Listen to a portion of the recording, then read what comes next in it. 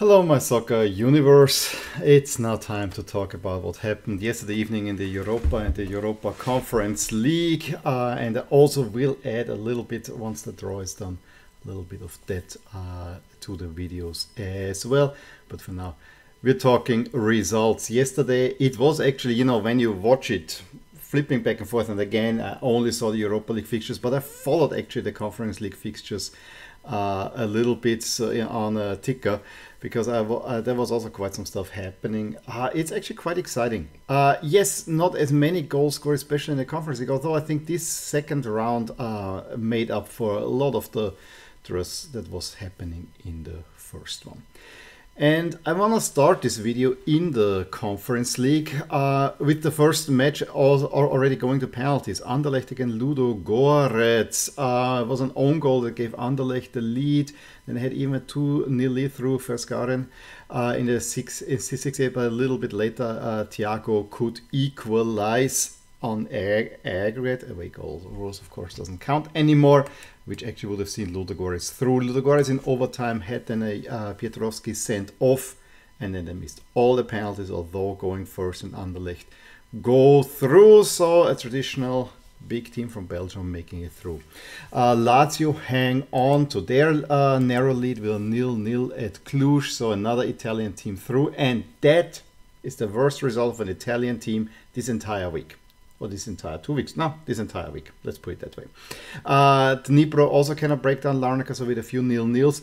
Partizan against Sheriff was an interesting game because uh, Partizan took an early lead, but then was uh, this, this was equalized by Sheriff uh, midway through the first half by, by penalty. And Diop just before and just after the half sends the game towards Sheriff, uh, which yeah I personally wanted Partizan to move on, but you know, so uh, be it. And we have Sheriff Tiraspol moving on. Then Basel had quite some luck against Trabzonspor. Yes, they got an early lead through uh. However, Bakasetas misses a penalty, then an own goal uh, uh, um, and a goal for um, that would be the equal for Trabzonspor wasn't an own goal, it was an offside goal. Uh, was chalked off, and then Sekiri makes it 2 0. So uh, quite some uh, luck for Basel, who are not doing well in the Swiss league, but they're moving on into the next round. Braga got to Florence on the back of a 4 0 um, deficit but they made it for a while a game. Castrinder gave it gave them lead. Uh, Diallo doubled it in the 34th, but then shortly after Mandragora uh, pulls one back for Fiorentina. And I think at that point, Braga knew that they're not come, coming back, and Saponara adds two more. And the Cabral goal uh, that would have been the equalizer, the first equalizer, if you like, um, got chalked, chalked off. So then in, in the end, um, Fiorentina turned, turned around. But for a second there, maybe the real uh, upset was in there. But again, an Italian team winning. Uh, we have Ghent uh, beating Karabakh, uh, also then on penalties, and Lech Poznan oust Bodø Glimt. There's no second Glimt miracle happening this time around.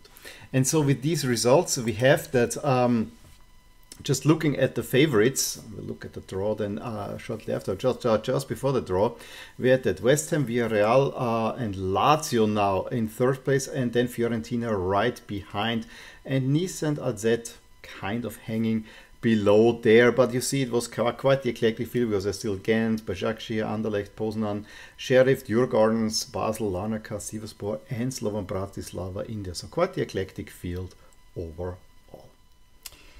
Okay, and let's look at the draw for uh, the Europa Conference League round of 16. I give you here the pots. We see the seeded teams up there and below the ones that made it to the round of 16. Uh, and we saw it was a completely free draw. There were not any restrictions, which I think is quite exciting. And we got the following pairings out of that. Uh, as we'll see, if they favorites West Ham will play Larnaca, Sivasspor against Fiorentina. Fiorentina uh, getting definitely the biggest boost through that draw. We also we have the big one between AZ and Lazio. That's basically uh, two uh, co-favorites as we have seen. Uh, so both of them will not be very happy. We have Djurgårdens against Lech Poznan, which should be be relative. is probably uh, not so glamorous as is Slovan against Basel. Basel also relatively happy with their uh, draw there. Then we have Nice against Sheriff. Uh, will this be another exit for a French team? We gotta see. Villarreal against Anderlecht. Clearly, the Yellow Submarine will be favored there, but Anderlecht, don't overlook them. And then Başakşehir here against Ghent, the another uh, with the Belgium team in there. And having that, we see now the changes in the favorites. We had actually we have actually quite a few movements here. We see West Ham are still up top, but Fiorentina now moved all the way up in second spot, mainly because AZ and Lazio are playing each other, uh, but also Villarreal not having uh, such an easy opponent. Um, as they could have expected in Anderlecht. So uh, therefore, Fiorentina definitely mo- moving up because Sivas was a very uh, good opponent for them. Nice and Lazio um, round out the top five, and then it's AZ, and there's not much change except for the bottom. There's a few changes, but uh, when we look at the fav- the favorites at the moment, it's Western Fiorentina, Villarreal, Nice, and Lazio, who should be considered the favorites. Moving on in the Europa League, uh, Midtjylland cannot complete the miracle.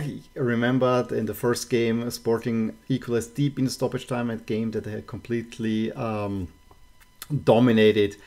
This time Coates again gets the goal, puts Sporting ahead, and then Paulinho is sent off for two fouls rather idiotically within short uh, succession. So Pichel just, just before the half once Pedro Gonçalves makes it 2 0, uh, it was always going to be go Sporting Wells. He, uh, he doubles up, and then one of the most ridiculous own goals that you will ever see.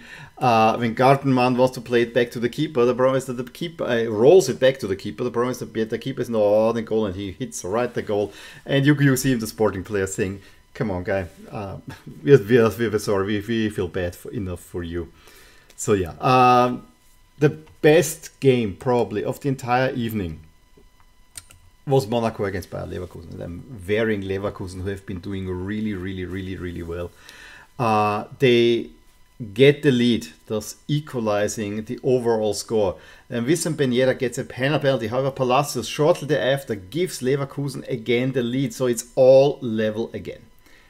Uh, and then it took another roller coaster ride because uh, Wirtz with a great cross uh, gets it to Adli, uh, who gives Leverkusen the overall lead, and for a long time it seemed like Leverkusen can hang on. However, Monaco really got the cavalry out, um, brought on, for instance, Benyo uh, Embolo for Ben Yedder, which I think hurt them in, in, in the end. But Embolo at first finds the equalizer, and then in the 84th, and then Monaco were, were, were pressing to even get the winner. I even thought that they had the better uh, of the game in the second half. But this was a very much, very evenly matched between two teams that like going forward. And it ends in penalties. And Bayer Leverkusen does not miss, whereas the second penalty by Matazo is put expertly on the crossbar. And so Bayer Leverkusen move on. And a theme for French teams started forming in this round. I've now mentioned the Italian teams have been doing well. French teams had a horrid one, especially not against Juve. With so much hope, you go. You have a full Stacey Stadium. It was brilliant ad atmosphere. Then Fagioli plays it into Di Maria in the fifth minute, who just from far out curls it with a brilliant shot into the net. 1 0 Juve. Not all lost, however, then uh, Pallois saves with his hand or basically with the elbow. Uh, a goal, it's a penalty. He is sent off, of course. Di Maria steps up, gets a second one. There was no way coming back for not from that one. And then Di Maria, Aziz which even adds a third. And he was the man of the evening. Di Maria lifting the old lady uh, was quite the sight, and I have, to say, it was overall a very atmospheric stadium. Unfortunately, it did not live up. And while I said uh, French teams had a horror, horrid evening, the atmosphere in French stadiums was actually really, really, really good. PSV against Sevilla, it sounds tight. However, PSV woke up way too late. De Jong getting the first goal in the 77th at a point where everything kind of fizzled out. Um, he actually scores and one quickly thereafter, but it was a clear off offside, and then the Tuta tunnel came only the 95th minute, then even a red card uh, later than that. But there was no real comeback. Sevilla looked safe overall. Um, Roma, Austin Salzburg, you know, one happy side, one sad side, because that's the last Austrian team being being out, but you know, Salzburg is never a bad thing. Uh, Roma did it the Mourinho way. Really frustrating Salzburg. Salzburg just being typically too nice overall, and Roma bring it all, bring a little bit uh, emotion in, in, in it, contesting every little thing, and just getting Salzburg off their game. And then if you have Spinazzola on the outside and with uh, the nice crosses they get, and Salzburg not, not being able to do that, like they couldn't hold Milan away from, they couldn't hold Roma as, well. First, it's Belotti uh, with a contortion of the body that heads uh, in the fur for first one, then a, a brilliant move uh, where Dybala makes it 2 0 uh, just before the half, and then Roma just played it home. The I want to say the Italian way, but I think it's more correct to say the Mourinho way. The big one between United and Barcelona, um, I think Barcelona let let United back into the game by being a little a little bit sloppy. I mean, you had the lead through a Lewandowski penalty uh, in in a game that was rather even, but did not quite live up to what uh, the first leg promised. Yes, there was no Gavi, there was no Pedri, so that definitely takes it already down a notch. Um, and in the end, it's then Fred uh, that gets the equalizer uh, right after half, and Antony uh, then gets the winner for United uh, kind of impressive uh, for them to oust Barcelona, who and I have now can now focus fully on the league. However, I didn't mention it. Yes, there is also some major controversy um, surrounding the club, namely, you know, having paid off seemingly at least one at the head of the refereeing committee, which is not a good look overall. But you know, there's maybe not time for this video. I actually was more enamored with Start Rennes against Shakhtar Donetsk. Uh, Rennes again brilliant at- atmosphere, rocker stays is, is, the stadium, and you know I can even feel with Rennes fans a little bit because you know on the on the ones we all support Ukraine in a way, but then you want to win, and there was a lot of energy in there in this game and um, of this type as well. Um, Rennes came out flying. However, the first goal uh, came for Shakhtar, but then there was kind of, there was a handball. It was a, it was a weird one. I, I thought you could probably even le have let that go. And it took Rennes a while to get going. Shakhtar was definitely well in that game as, as well. They could level it then. Uh, um, were dangerous, even more dangerous themselves. But um, just after the half, Toko Ekambi, after brilliant uh, Gouiri assist, uh, makes it 1-0 for Rennes. And then again, it was an up and down game, really intense, um, that went to overtime. And once Doku assisted Salah in the 106th minute, so just after the restart of the second half of overtime, it really seemed like that Rennes are going through. Uh, they had the game squarely under control until a freak own goal. I mean, it was um, it was a shot at Belocian, uh, 18 year, year. He had to get there. Galgazi 14 and lobs it over the keeper. If he lets that, that, that, that, that go, he probably uh, gives away a pretty good equalizing chance for Shakhtar. So it's not on him, but he was inconsolable overall. It goes to penalties, although Rennes, both of them tried to win it. And this was one of the most remarkable penalty shootouts. And again, uh, emotion actually, I think, lost it for Rennes. They missed the second and, and, and the third. And um, had a 3-1 lead after three penalties with two match points. Gouiri needs to convert, does it. Then Bonda misses. Tight needs to convert, does this brilliantly. It is level and then Sikan steps up, puts it on the crossbar. It was just unbelievable. And then, I think then it's the second, uh, um, uh, after that or um, after the second when Konoplya uh, converted, there was some emotion come coming because suddenly the teams were not happy because all the uh, Shakhtar players were kind of making these uh, these jets because they whistled really, really, really loudly, and in that they reveled, and the Rennes players didn't like it. and Ogochukwu sees his penalty saved, the third penalty saved, and Colley then con- uh, converts and sends Rennes home in their own stadium. I'm serious if they would have let it go and would have concentrated the task at hand. Rennes may have won this penalty shootout. I think this is emotional scuffle undid them. Emotion was also between Union Berlin and Ajax, where it is really unbelievable to say for me. Union were the better team. Uh, the Knoche gives them a lead through a pen penalty. Yes, the Bassey handball was a little bit an odd one. Um, and then just before the at the half, Juranovic, when Ajax tried to get again, you may make it 2 0. Right after, have Kudus pulls one back. And just when he thought that Ajax could do something, three minutes later, Turkey. And it's 3 1. And from there on, Union are cruising into the next round and are truly the sensation of Europe at the moment. And so, again, before the draw, here is how it was with the favorites. We had Arsenal United with Barcelona out, Arsenal United now the top favorites with Juve and Roma right behind. Never overlook Sevilla, but I also want to say never overlook Union Berlin.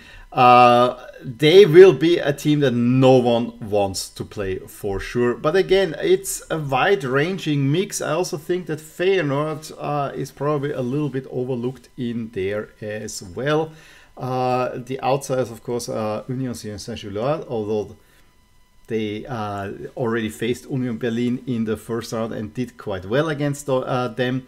Fenerbahce, uh, Ferencvaros. Yeah, those are kind of the outsiders. I would say Sporting is in there as well. Before we look at the draw, a uh, quick apology to United fans. You had this big win over Barcelona, and then uh, you didn't make the wall for some reason. I forgot uh, forgot it in the lists there, so I decided to wear United. We have here the pots for the draw, like we did for the Europa League. We see the, on top the four, uh, uh, the four, the eight seeded teams uh, that were waiting for their opponents, and then quite an eclectic uh, unseeded pot with United, Juve, Sevilla, and Roma in there. There are definitely some big teams, and there were also a few restrictions. Of course, Arsenal and United could not play each other as could uh, Sevilla could not meet Betis or Real Sociedad, and Freiburg, of course, could not meet Leverkusen or Union Berlin. And so, with that, we have the following pairings that we got. We got another uh, duel of the unions that we already had in the group stage, which ended in two 1 0 away wins. So, that will be an interesting one. Of course, Union Berlin should be considered the big favorites in there. Sevilla will face Fenerbahce. Um, I guess they will overall be pleased with that uh, draw. On the other side, I gotta say, um, Fenerbahce is not a team to be overlooked, honestly. So uh, it will be an interesting one. Freiburg against Juve. Uh, I, I'm just, I don't know why I'm thinking about Vincenzo Grifo on that one, uh, but that is definitely a glamour um, draw for Freiburg in their first uh, big foray into Europe. Uh, Leverkusen got a relatively uh, pleasant draw with Ferencvaros. Arsenal have to play against Sporting. I remember that a few years ago was relatively easy for Arsenal. Betis against United. Um, you would definitely favor United there, especially the way Betis have been. But remember, Real Sociedad, who are better than Betis, gave some trouble to United. Speaking of Real Sociedad, they have to go Roma. And as we'll see, Roma are the slightest of favorites, but I actually think Real Sociedad could uh, get uh, take this one.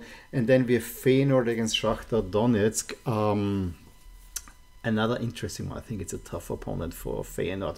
We saw how they um, had some trouble they gave Rennes trouble, and I think they will also give Feyenoord quite some trouble. And let's look at the overall changes in the favorites there. Uh, the top three, it is remains Arsenal United Juve. Union Berlin moving up as to Sevilla, Roma, and Real Sociedad falling because they're facing each other, and that's not a happy draw. yeah, definitely. Uh, if we look at favorite, it's really hard to look past the two English teams uh, with Juve and Union Berlin, and you know Sevilla. Then it gets a little a little bit hard, but the English teams are definitely a step above.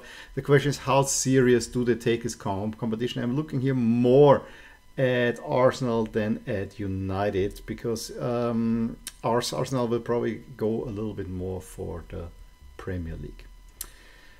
that was it from me from the recap from uh, the Europa League and the Europa Conference League. All these ties will be played while the second legs for the Champions League round of 16 are happening.